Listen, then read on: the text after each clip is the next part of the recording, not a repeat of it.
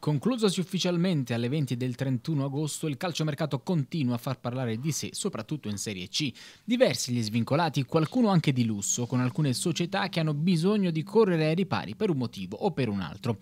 Su tutte la Juve Stabia, che dopo l'infortunio alla spalla contro l'Avellino corso ad Eusepi è alla disperata ricerca di un bomber.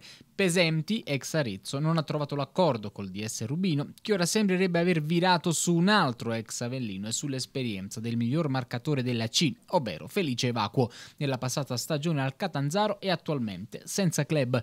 La Turris invece ha abbracciato il centrocampista italo-brasiliano Francisco Sartore l'anno scorso al Bisceglie, mentre il Messina di Mister Sullo ha accolto l'ex attaccante del Pescara Ante Vukusic.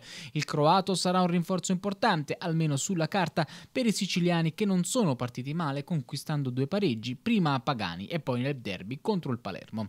Il Foggia di Zeman invece vedrà arricchirsi di qualità ulteriormente il tridente offensivo. Se Ferrante, andato in gol contro il Potenza, è il terminale avanzato, gli esterni sono da fare invidia alle big del girone con Di Grazia, Capitan Curcio e il nuovo innesto Oliver Kragl, già in passato con la maglia dei Satanelli, con la quale ha fatto grandi cose.